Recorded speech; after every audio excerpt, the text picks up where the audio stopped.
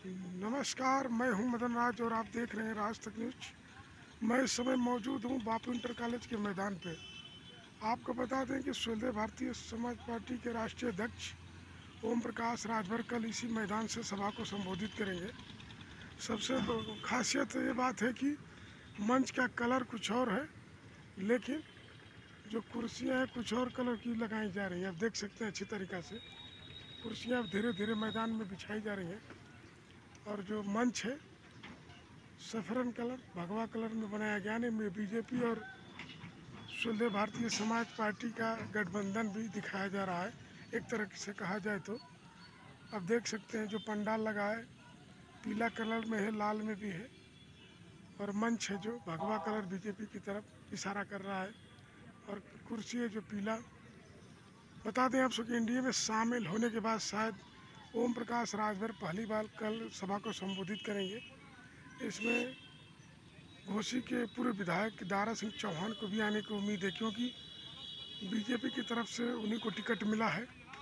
आपको बता दें कि उम्मीद लगाई जा रही थी कि पूर्व विधायक विजय राजभर को बीजेपी मैदान में उतारेगी, लेकिन ऐसा नहीं हुआ। तो आपको बता दें कि मैदान धीरे धीरे तैयार किया जा रहा है। आप देख सकते हैं कुछ बीजेपी के नेता भी हैं। और सुलह भारतीय समाज पार्टी के भी नेता भी हैं इस मैदान पर। और रात भर ये कार्यक्रम चलेगा तैयारी का।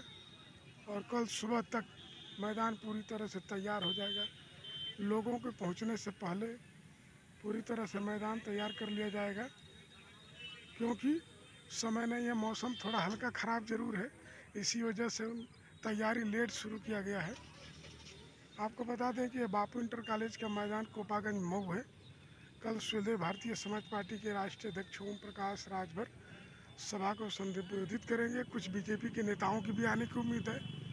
अब यह देखना है कि क्या ओम प्रकाश राजभर बीजेपी में शामिल हुए तो किस मुद्दे के लेकर शामिल हैं, शायद बता सकते हैं आरक्षण को लेकर भी।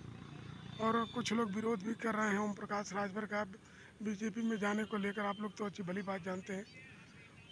आपको बता दें कि बापू इंटर कॉलेज पूरे धीरे धीरे तैयार किया जा रहा है। सुभाषपा के राष्ट्रीय अध्यक्ष ओम प्रकाश राजभर, पूर्व कैबिनेट मंत्री और जौहराबाद से विधायक कल सभा को संबोधित करेंगे।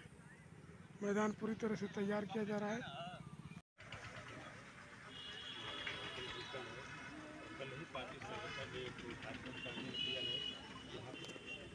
और इस कार्यक्रम में उत्तर प्रदेश के उप मुख्यमंत्री माननीय ब्रजेश पाठक जी आ रहे हैं। उत्तर प्रदेश से भारतीय जनता पार्टी के प्रदेश अध्यक्ष चौधरी जी आ रहे हैं। इस कार्यक्रम में सुभाष पार्टी राष्ट्रीय अध्यक्ष माननीय प्रकाश राजभर जी आ रहे हैं। इस कार्यक्रम में निषाद पार्टी के राष्ट्रीय अध्यक्ष माननीय डॉक्टर संजय निषाद जी आ रहे हैं। इस कार्यक्रम में आशीष पटेल जो उत्तर प्रदेश सरकार के पूर्व वर्तमान कैबिनेट मंत्री हैं और अपना दल के राष्ट्रीय सह संयोजक जिसमें शामिल हो रहे हैं।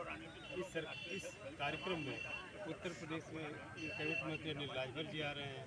कैबिनेट मंत्री माननीय गिरीश यादव जी आ रहे हैं। उत्तर प्रदेश सरकार के मंत्री माननीय दानिश अंसारी जी आ रहे हैं। तो इस कार्यक्रम में बहुत सारे लोग इसमें शरीक हो रहे हैं और हमारे बहुत सारे सांसद, अभी आजमगढ़ के जो वर्तमान शासन, सांसद हुआ उनका भी आगमन इस कार्यक्रम में होने वाला है।